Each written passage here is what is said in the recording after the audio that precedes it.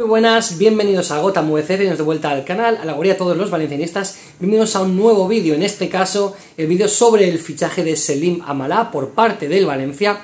Como esto lo estoy grabando días antes de que ocurra y no sé exactamente en qué términos y condiciones eh, se ha dado, ahora mismo las voy a poner en pantalla. Ya lo tenéis, espero. Eh, en el fichaje de Pepe lo dije lo mismo y al final lo subí, lo dejé preparado para subirse antes de, de saber las condiciones, evidentemente son las que se hayan filtrado, nunca podemos saber ciertamente si son así exactamente, si en algún momento veo que hay modificaciones, pues lo pondré en un comentario, en, las respuestas al, al vídeo. Y bueno, ¿qué podemos decir de este jugador? La verdad es que me he estado informando mucho, me he visto vídeos muy interesantes sobre él, me he visto muchos highlights, muchos vídeos de cómo juega. Evidentemente esto es YouTube y yo siempre lo digo, Angulo fue un grandísimo jugador del Valencia, pero si hubiese un vídeo de los 15 mejores goles de Angulo con el Valencia, estaríamos pensando que fue un crack mundial porque metía eh, muchos golazos, claro, a lo largo de una carrera muy longeva. Pero bueno, la verdad es que hay cosas interesantes de este jugador, cosas que me parecen muy buenas que puede aportarle al equipo. Y me ha apuntado varios datos que os quería comentar. Después veremos jugadas suyas, eh, o sea, reaccionando a cómo juega. Pero bueno, Selim Amalá eh, ahora mismo tiene 26 años para 27, es del del 96, si no me equivoco, en noviembre cumple los 27, mide 1,86, su posición sería la de mediocentro ofensivo y es algo que en lo que eh, incidiremos bastante porque eh, no es un jugador, no es un organizador al uso, ni es un media punta al uso, es más bien un interior con mucha llegada, con mucho despliegue físico, con un buen disparo lejano. Iremos analizando qué posiciones puede eh, ocupar, ¿no? O podría ocupar en el Valencia de Rubén Baraja. Eh, mide 1,86 y bueno, he estado notando un poco sus estadísticas desde que están más o menos en el fútbol profesional. Él es eh, belga eh, de nacionalidad, es hijo de inmigrantes marroquíes, decidió jugar con la selección de Marruecos donde hizo un gran mundial participando en todos los partidos e incluso él llegaba a priori como suplente y acabó ganándose un puesto como titular. Desde que está en el fútbol profesional belga, contando con sus últimos partidos en primera división, con el Valladolid, en el que jugó 7 eh, partidos antes del descenso. De hecho, como curiosidad, se lesionó en Mestalla en el partido que el Valencia ganó 2-1 con este golazo de Javi Guerra al Valladolid. Se lesionó en ese partido y no volvió a jugar. No sé si al final llegó a jugar alguno, pero creo que no. Ha jugado 132 partidos, un poco desde que está ya en primera división de Bélgica, en, el que, los que ha anotado 40 goles y ha dado 24 asistencias. De estos, eh, de estos 132 partidos, perdón, 7 con el Valladolid, ha llegado a jugar 7 partidos desde que llegó al Valladolid, en los que ha metido 2 goles y ha dado una asistencia, que no está nada mal, teniendo en cuenta eh, la posición en la que juega, básicamente un gol cada 3 partidos y una asistencia, que son números realmente interesantes. Eh, con Marruecos ha jugado 31 partidos y ha marcado 4 goles. En la Europa League, entre Europa League y clasificaciones previas para la Champions, ha jugado 11 partidos y ha marcado 6 goles. Tiene un valor actualmente en Transfermarkt de 3 millones de euros. Yo no creo mucho en estos valores, no digo que sea más ni que sea menos, solo que no creo mucho en ellos. El Valladolid paga un millón de euros por él al estándar de Lieja, cuando él tenía un valor de 6 millones y medio. O sea, en, enero, o sea, a final del Mundial, en diciembre, antes de llegar al Valladolid, estaba considerado con un valor de 6,5 millones. Lo ficha el Valladolid por uno y ahora tiene un valor de 3 millones. ¿Por qué? No lo sé, cuando su rendimiento hasta la lesión ha sido muy bueno en el Valladolid. Él ha llegado al Valladolid en unas circunstancias un poco extrañas y es que no ha querido renovar con el estándar de Lieja. Él había sido un jugador importante, la temporada eh, anterior que había jugado 22 partidos como titular, si no recuerdo mal, y, y, al principio de la temporada creo que los primeros partidos, los primeros 9 partidos de liga los juega como titular, pero en septiembre rechaza una oferta de renovación en octubre y no vuelve a jugar más con el estándar de Lieja y por eso luego es vendido al Valladolid.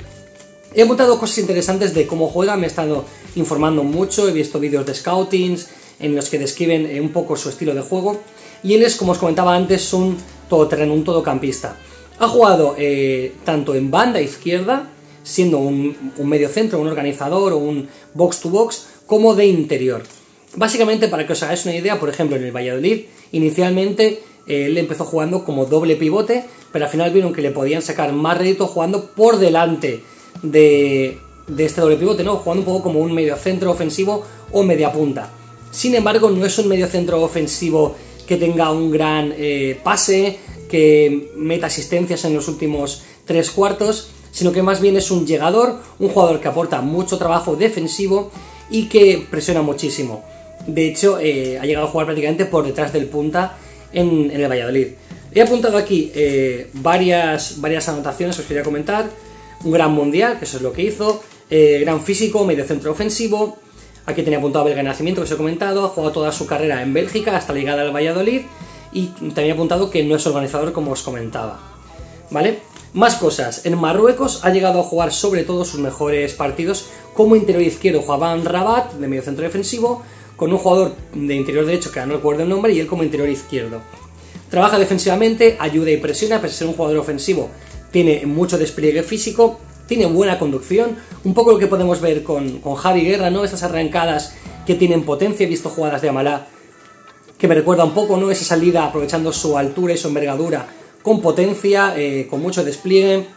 Eh, no es un gran constructor de juego, conducción potente velocidad, un disparo lejano muy bueno, carga muy rápido el, o la pierna, en cuanto él tiene un poco de hueco, no se lo piensa dos veces y saca el disparo rápido.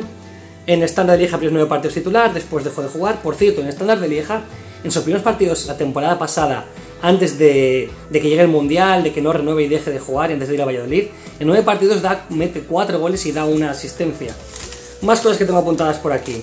Eh, realmente ha sido una sorpresa en el, en el Mundial, nadie esperaba que tuviese tan buen rendimiento y hemos visto muchísimos goles en su carrera, muchísimos goles de fuera del área. Es un jugador eh, con mucha llegada y hay que ver cuál puede ser el rol que desempeñe en el equipo de Baraja, si va a ser más un complemento a Pepe Javi Guerra y Almeida, que a priori intuimos que puede ser el tribote titular, o si incluso ante la falta eh, de efectivos en banda puede acabar jugando en banda izquierda, que no sería algo sorprendente, ya que lo ha hecho a un buen nivel eh, anteriormente.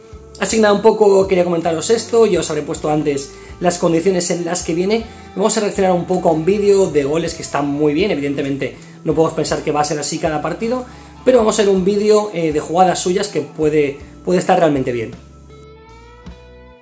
Estamos en el Twitter de IoJavime, empezamos con las jugadas arroba IoJavime, os recomiendo que lo sigáis, sube muchísima información, tema scouting, se dedica, pues sé que laboralmente se dedica a lo relacionado con el mundo del fútbol y aquí vamos a ver eh, varias jugadas suyas. Vamos a ir con llegada, marcando un gol desde fuera del área.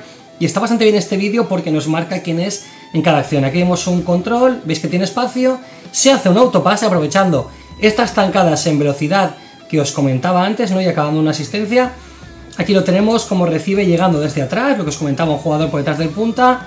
Eh, se abre el balón y ojito, bueno, esto es un golazo bestial, la verdad. Eh, es verdad que no es que la apertura con la derecha sea espectacular, pero vaya vaselina. Aquí lo tenemos, como se abre hacia adentro y saca un cambio de banda. Esto lo he visto también varias veces. Un poco estilo a los cambios de banda que hay de pelo. Aquí vamos a ver recibir jugando en banda izquierda, ¿no? No sé si es que estaría jugando ese partido como podía jugar en ocasiones ahí, o que había caído pues, casualmente en esa zona. Y vemos pues esa capacidad que tiene para abrir. Aquí de nuevo lo tenemos recibiendo desde la banda izquierda, en este caso está con Marruecos, donde juega sobre todo en interior izquierdo y mete un buen pase que creo que no llega finalmente al destino. Aquí lo tenemos trabajando defensivamente, en esta posición un poco más como medio centro y vamos, eh, creo que es una falta como piano, pero no sé, no estoy seguro. Vamos a ver aquí cómo es esta jugada. El, joder, la verdad es que el tío no se corta eh, a la hora de meter, meterse cada esta pues que las había unas acciones súper destacadas porque creo que son falta. Aquí lo tenemos desde interior izquierdo, lo que os comentaba antes abriéndose el hueco para sacar este centro y dar una asistencia de gol. Aquí también vamos a partir desde la izquierda y de nuevo recorte hacia adentro y da una asistencia. Vemos que cuando juega en banda izquierda, evidentemente, pues tiende a caer hacia su eh, lado natural, hacia su pierna derecha. Aquí de nuevo abre hueco y en este caso un pase bastante bueno, ojito, asistencia de gol, el portero se la zampa. Y ojito que aquí tenemos jugadas con el Valladolid, o sea, este vídeo no va a estar monetizado, este gol que marcó pues contra el Mallorca. Así que que no está monetizado, dejad un like y suscribiros todos los que no lo estáis, que sé que tú no estás suscrito. Sí, sí, tú, suscríbete. Aquí lo tenemos llegando en segunda línea, eh, marcando...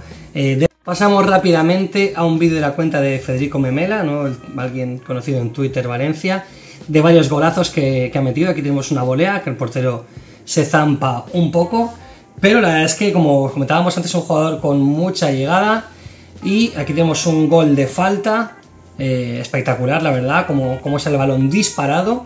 Y es una de las cualidades que Baraja debería aprovechar eh, si finalmente se ha concretado este fichaje, que si estáis viendo este vídeo es que sí. Y es un poco quizá en partidos que nos ha faltado, ¿no? Aquí este gol me gusta mucho, fijad cómo va hacia la izquierda, cómo se abre hueco hacia la derecha y rápidamente saca un latigazo. Eh, me parece un, golazo, una barbaridad de gol. Y independientemente de la línea en la que juegues, si te sacan ese tiro, el portero no lo para. Así que nada, os sigo dejando con, con algunos de estos goles. Aquí vemos una volea espectacular de la frontal del área. Y nada, realmente estamos sacando ya el vídeo, espero que os esté gustando muchísimo. Por favor, eh, dale like, suscribiros si no lo estáis. Y eh, nada, seguiremos viendo pues qué fichajes van llegando. Y nada, que nos vemos en el siguiente. Un abrazo, hasta luego y Amunt.